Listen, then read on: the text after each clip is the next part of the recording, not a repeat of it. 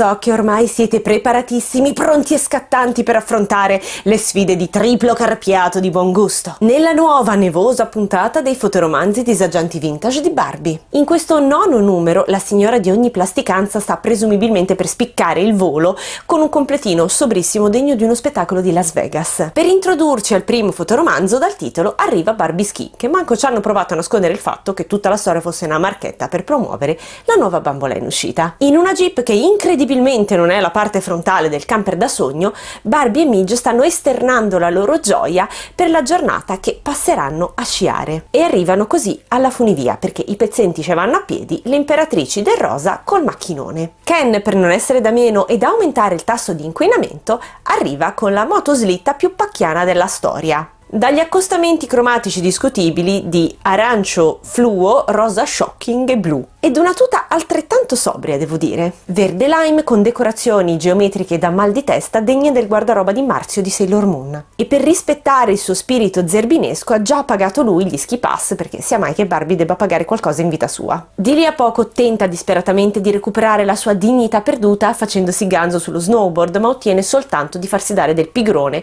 dalla signora di ogni biondezza. Dopo parecchie veloci discese, parole testuali, Ken propone una pausa cioccolata calda. E siccome Barbie era stanca si fa scarrozzare in motoslitta da Ken e siccome non c'era posto Midge giustamente se la fa suon di sci fino a valle. Logicamente Ken e Barbie arrivano per primi, ma tu guarda, mentre Midge arriva mezz'ora dopo battendo i denti per il freddo. E notiamo che i due manco l'hanno aspettata per iniziare a bere la cioccolata calda, infamissimi proprio. Siccome però Barbie non è ancora soddisfatta della giornata propone di andare a spendere altri soldi in un nuovo negozio di sci. Leggasi un triangolo senza manco le porte dove ci stanno quattro cose in croce. Ma a detta di Midge vendono proprio tutto. Ken infatti si sofferma ad ammirare quello che chiama monosci, ma che praticamente è uno snowboard come quello che stavo usando prima, mentre Midge propone di acquistare dei pattini, magari per svagarsi un po', ma subito l'imperatrice di ogni valanga propone una gara e se lei lo propone così sa da fare. Ken evidentemente aveva parecchio caldo in quanto si mette a pattinare sul ghiaccio che maniche corte.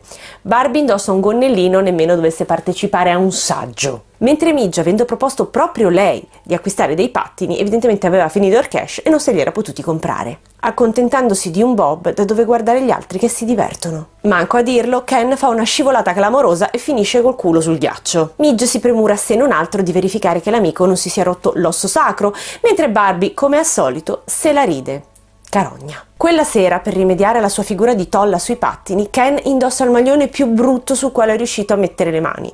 Oddio, anche se non è che la protagonista sia da meno con quell'outfit urendo. E sorprende l'imperatrice del barbilicesimo con una romantica passeggiata in slitta. Vuoi il freddo, vuoi le stelle, vuoi l'atmosfera, ma Ken si allarga decisamente, arrivando addirittura a metterle il braccio attorno alle spalle, decantando le sue doti romantiche. Ma la donna, per tutta risposta, gli ride in faccia e anche oggi si ciula domani. Nel secondo fotoromanzo troviamo la sempre messa da parte Marina che freme per festeggiare il suo compleanno e dà la meravigliosa idea di invitare tutti i suoi amici a cena. Cioè, aspetta, li inviti lo stesso giorno? Oh, ma la gente si deve organizzare, figlia mia, non puoi fare queste improvvisate.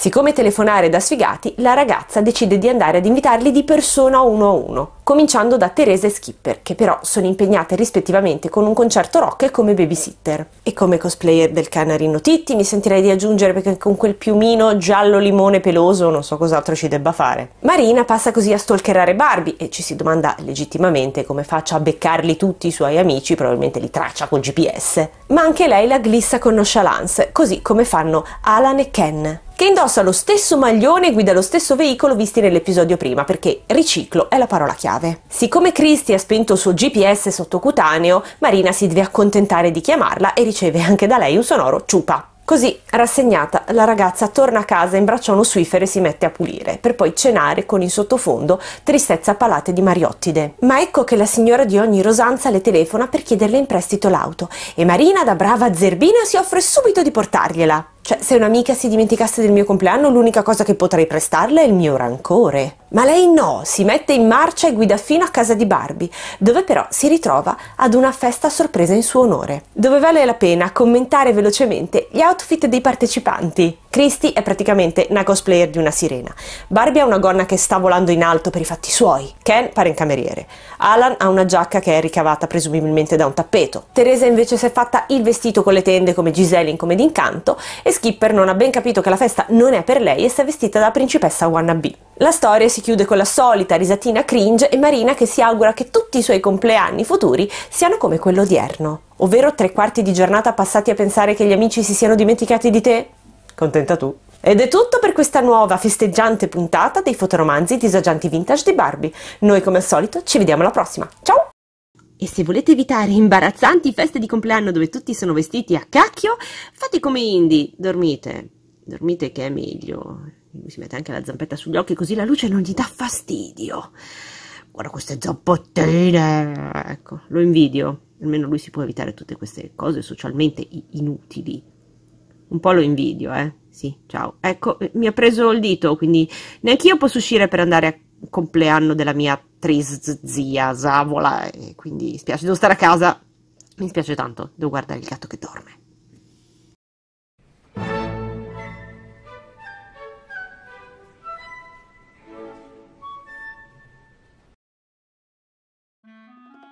Il triplo carpiato del buon giusto nella nuova sbagliata. La signora di ogni pasticanza è sì domani. Titolo Arriva Barbie Sky che da, dagli sci al cielo è un attimo. Incredibilmente non è la parte frontale del camper da viaggio di sogno non viaggio, naggia. Perché i pezzelli ci vanno a piedi e no, sbagli. Arriva con la motositta più dimenticato la L. Già pensato lui a scacciare i soldi che no, scucire. Ne propone una pausa calda che detta così è bruttissima, era cioccolata calda. E la fa a suon di sci fino a terra. Valle non sta volando. Ah no, beh, Barbie Sky vola, quindi a terra, no? Non è ancora soddisfatta della giornata e proporre subito la governatrice di ogni valga No, accontentandosi di uno sbob dove rimediare alla figura di Tulla con una romantica passeggiata in neve. Slitta. E alla favolosa idea Marina passa così a schilchelare che cosa ho appena detto? La ramazza in... cioè, altro che macchina. Potrei prestarci solo... no. Alan ha una giacca ricavata da un tappeto. Yeah. La storia si chiude con la solita risatella cringe e no.